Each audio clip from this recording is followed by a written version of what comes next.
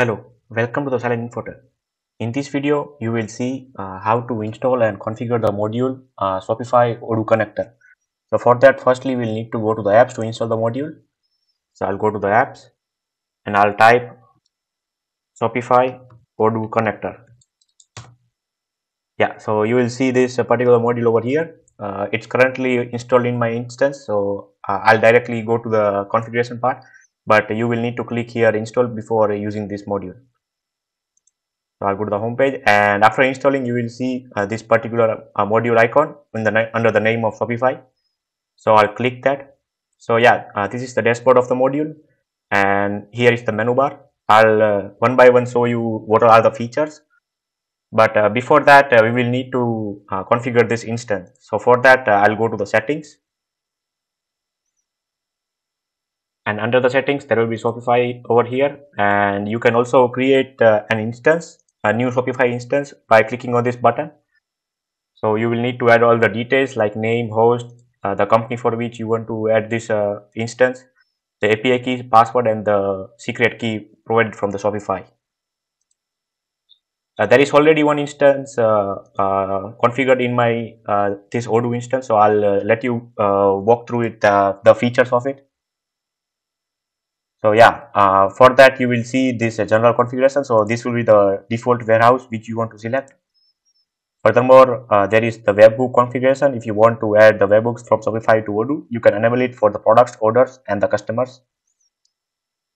The order configuration contains, uh, you can add the particular order prefix or you can also use the default uh, Odoo sequences that are provided there uh, there is a particular tags which, which you can give to the uh, import order status from Shopify to Odoo and also you can select uh, the the gift card configuration uh, which will be created automatically onto Odoo for the sales order uh, gift card attached from the Shopify.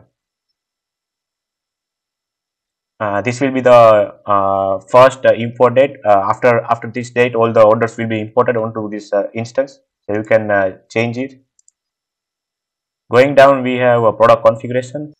So for that, uh, you can uh, uh, enable this uh, boolean to automatically create the products if they are not in the Odoo instance. So any product that is uh, uh, that came from Shopify onto the Odoo and it is not in the Odoo instance, it will automatically create. And enabling enabling it will add let you have the images and the description of the that particular product. Furthermore, there is text configuration. You can uh, select uh, uh, whichever you want. That if there are not text configuration already available, you can create a new. And if it if you want to choose the default Odoo text behavior.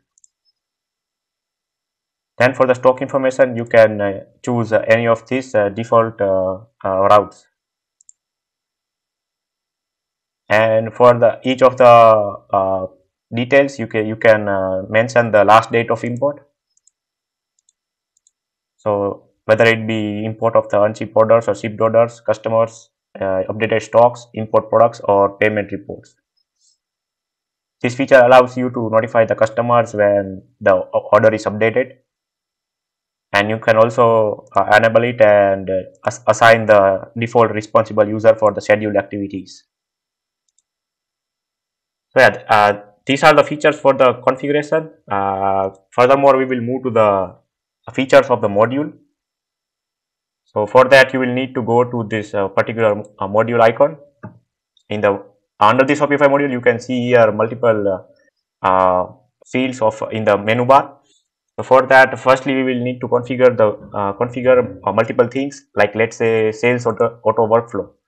So there will be default auto workflow configured over here. You can edit and add all the details and mention the the the default debit method, the payment journal and the sales journal. And also you can uh, uh, configure the shipping policies. You can also add uh, multiple uh, uh, sales auto workflow uh, under this. So after that we will need to go to the payment gateway. So these are the default payment gateway configured from Shopify to Odoo. You can also add a couple of others if they are needed. So you will just need to add the name for your reference, the instance for which you want to provide and the code entered from the Shopify. Next is the financial status. In the financial status, uh, you can see there are multiple financial status for each of the payment gateways. So there were four payment gateways. Let me uh, group by and uh, let, let you have an easier, easier look. So yeah, you can see here that uh, there are uh, multiple financial status for each of the uh, automatic workflows. You can also uh, create uh, more uh, if it is needed by here, clicking on here. Okay. Furthermore, we will configure the Shopify locations. So this is the default Shopify location.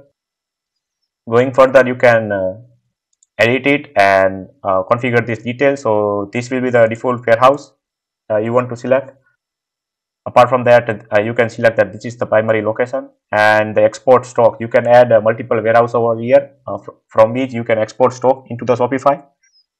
Or uh, here you can select one default warehouse. From which the shopify product uh, level will be updated onto this particular odoo warehouse. Okay furthermore uh, we can go to the configuration of the instance so here uh, there will be list of the multiple Shopify instance, but currently as it is only one in my case, uh, there will be one at, uh, line here. I'll go into it and I can configure all the details.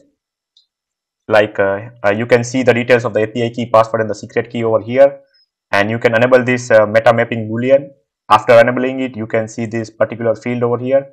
And you can add the meta mapping from the Shopify and the Odoo to sync data for the uh, custom fields. For that, you can select the Odoo models for which you want to add the um, keys and then uh, you can select the Shopify meta key. This you will get from the Shopify itself and then this is the fields uh, within the Odoo and you can also select the data type of it. So you can add multiple uh, uh, lines over here and add as much as much as key you want. After that, uh, uh, here is the button for the uh, auto scheduling of the cron jobs. So yeah, you can you know enable it for the import of products, and you can set it up for like you want to sync product sync orders every one minute or as per your convenience you can see here that there are hours days weeks and months so for each of the fields you can uh, uh, decide this uh, scheduling jobs okay. Furthermore, moving on uh, to this uh, module, you can see here the uh, the reporting of the sales, like quotation and risky quotation. So you can see also see that whether this particular order has been already updated onto the Shopify or not. There are a couple of other uh, quick uh, accessible uh, fields where you can directly check onto the particular orders. Like there is a, if, if there is if there is any re, refund orders or not. You can also get the name of the customers uh, this particular button is to let you manually uh, trigger the uh, data sync. So let's say the particular operation you want is the import products. And furthermore, you can also select, uh, you will need to mention the instance and the default dates uh, from or to dates. So this, these are the, uh, this will manually trigger the data sync from Odoo and Shopify and there are part, uh, multiple uh, operations that can be performed via this manual operation syncing. This will help you to get all uh, the details of all the logs, whether it is in draft, failed or done, done state. And uh, you can also check the log lines to check uh, whether which, uh, which particular data sync has failed in order to make both the systems at the same page. Furthermore, there is a, separate for separate for the re, uh, reporting of the sales uh, entered, uh, which is being transacted from Odoo and Shopify. So yeah, that's all are the basic features of the Odoo and uh, Shopify connector. Furthermore, if there is any additional query that you have, you can directly click on this help button and reach out to us. So yeah, this is how this module works. If there is any doubts, you can definitely reach out to us via email uh, we would be happy to help. You can download this module from the link in the description.